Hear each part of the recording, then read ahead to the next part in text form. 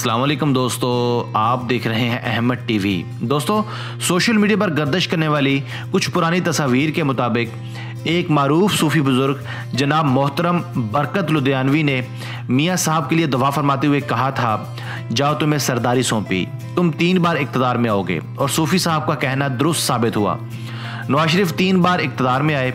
پیش گوئی کے حوالے سے دیکھا جائے تو ایسا لگتا ہے کہ نواز شریف آئندہ سیاست میں نہیں آ سکیں گے۔ واضح ہے کہ صوفی محمد برکت علی لدھیانوی انیس سو گیارہ کو ضلع لدھیانہ، انڈیا میں پیدا ہوئے۔ آپ کے والد گرامی کا اسم مبارک حضرت میاں نگاہی بخش تھا۔ آپ نے اپنے وقت کے معروف بزرگ شاہ ولایت حضرت شیخ سید امیر الحسن سہارپوری کے دستے مبارک پر بیعت کی۔ آپ نے انیس اپریل انیس سو تیس کو فوج میں شمولیت اختیار کی۔ انیس سو تیئیس میں آپ انڈین ملٹری اکیڈمی کے وائی کیڈٹ منتخب ہوئے۔ کور کمانڈر جنرل وچ آپ کی شخصیت بے پناہ متاثر تھے۔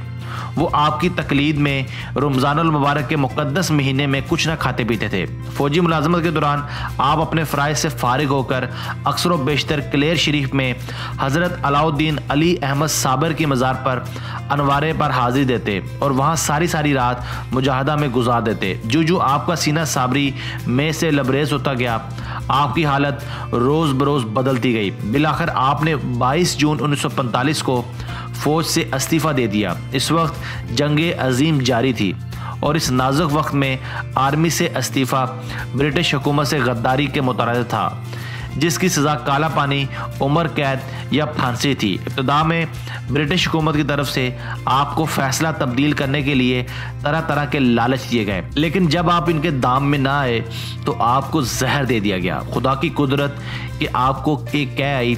جس سے زہر خارج ہو گیا۔ بعد ازاں آپ کو کورٹ مارشل میں بھی باعزت بری کر دیا گیا۔ فوجی وردی اتارنے کے بعد آپ نے عہد کیا کہ باقی زندگی ان کاموں میں صرف کروں گا۔ نمبر ایک، ذکر اللہ۔ نمبر دو، دین اسلام کی دعوت و تبلیغ۔ نمبر تین، اللہ کی مخلوق کی بے لوس خدمت۔ قیام پاکستان کے بعد آپ نے کچھ عرصہ گجرات میں قیام کرنے کے بعد، حافظ آباد کے قصبہ سکیکی میں کیمپ لگایا اور یہاں ایک سال تک مقیم رہے۔ بعد ازاں آپ نے سالار والا موجودہ دارالاحسان کو اپنی دینی تبلیغی اور رفائی سرگرمیوں کا مرکز بنایا، جو جلد دنیا اسلام میں دارالاحسان کے نام سے مشہور ہو گیا۔ اس مقام پر آپ نے ایک خوبصورت مسجد، دو سو چھوٹی مساجد، ایک دینی درسگاہ قرآن کریم محل، مینار بیاد اصاب و بدر اور ایک بہت بڑی فری ہسپتال قائم کیا۔ جہاں ہزارہ مریضوں کو نہ صرف علاج معالجے کی مفت سہولتیں فراہم کی جاتی ہیں، بلکہ ان کے خرد و نوش کا بھی اہتمام کیا جاتا ہے۔ اس کے معاوضے میں ایک پیسہ تک وصول نہیں کیا جاتا۔ اس طرح دارالاحسان میں روحانی علاج کے ساتھ ساتھ جسمانی علاج بھی کیا جاتا ہے۔ انیس سو چوراسی میں بابا جی سرکار فیصل آباد کے قریب دسوہ سمندری روڈ پر تشریف لے گئے۔ اس مقام کو المستفیز دارالاحسان سے منسوب کیا جاتا ہے۔ آپ نے ایک خوبصورت قرآن کریم محل اور ایک بہت بڑا فری ہاسپٹل قائم کیا۔ حضرت صوفی محمد برکت علی لدھیانوی ایک انقلاب افری شخصیت تھے۔ جنہوں نے خانقاہی نظام کو ایک نئی جہد دے کر اسے تر و تازگی بخشی۔ آپ نے عام شہزادہ نشینوں کے برعکس کچی جھونپڑیوں میں ڈیرہ جما کے نہ صرف لاکھوں انسانوں کی کایا پلٹ دی، بلکہ عمل و کردار کا ایسا اعلیٰ نمونہ پیش کیا جس کے تذکرے رہتی دنیا تک ہوتے رہیں گے۔ وقت کے بڑے بڑے عمرہ روسا، شہنشاہ اور وزراء آپ کی خدمت میں حاضر ہوتے۔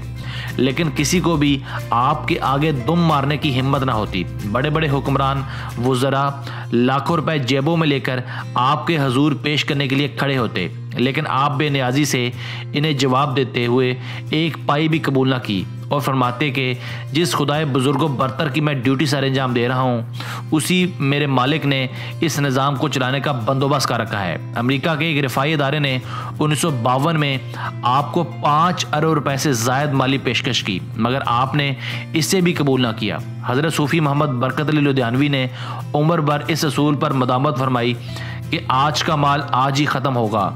کل کی روزی کل ملے گی۔ نیز فرماتے تھے، ہماری روزی پرندوں کی طرح ہے، جو صبح گھونسلوں سے بھوکے اٹھتے ہیں، لیکن شام کو سیر ہو کر لوٹا کرتے ہیں۔ آپ کی زندگی اقبال کے اس مصرع کے متصادق ہے کہ میرا طریق امیری نہیں، فقیری ہے۔ خود ہی نہ بیچ، غریبی میں نام پیدا کر۔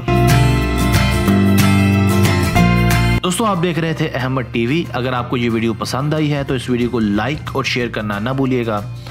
اگر آپ نے اب تک ہمارا channel Ahmad T V subscribe نہیں کیا، تو ابھی سبسکرائب کر لیں کیونکہ ہم آپ کے لیے ایسی ویڈیوز لے کر حاضر ہوتے رہیں گے۔